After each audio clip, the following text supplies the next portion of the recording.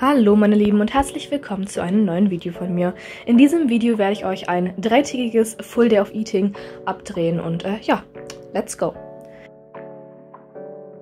Am ersten Tag gab es zum Frühstück Himbeeren und einen Zitronenjoghurt, außerdem ein Brötchen mit einer vegetarischen Salami, mit einem vegetarischen Snacktaler. Der Snacktaler ist Salami ist nicht sehr lecker.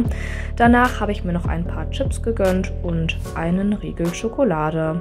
Dann habe ich erst abends wieder Hunger bekommen und es gab Spaghetti mit Erbsen und Feta drüber.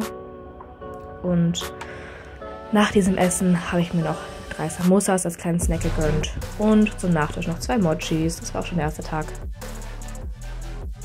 Am zweiten Tag gab es zum Frühstück erstmal einen Joghurt, weil ich nicht so viel Zeit hatte.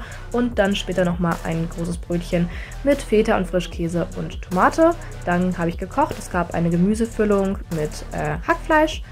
Die habe ich dann nochmal zusammen mit Käse in einem großen Tortilla angebraten. Das war sehr lecker übrigens. Dazu habe ich noch ein paar Chips gegessen und nach dem Essen habe ich noch diese Schokolade probiert, aber davon wirklich nur ein Stück, weil die hat mir nicht so gut geschmeckt. Das war es auch schon mit Tag 2. Am dritten und letzten Tag habe ich zum Frühstück Quark gegessen mit Brombeeren, Himbeeren und Heidelbeeren und ein bisschen Ahornsirup. Muss man natürlich alles gut vermischen. Und ein bisschen später gab es dann noch äh, Weißbrot mit Käse, Frischkäse und wieder Feta, ein paar Chips dazu, Paprika und ein bisschen Tomate. Und danach habe ich mir noch ein bisschen Schokolade gegönnt als kleiner Nachtisch. Und abends gab es dann einen vegetarischen Döner mit Halloumi und relativ viel Soße tatsächlich und noch eine kleine Portion Pommes mit Mayo und Ketchup.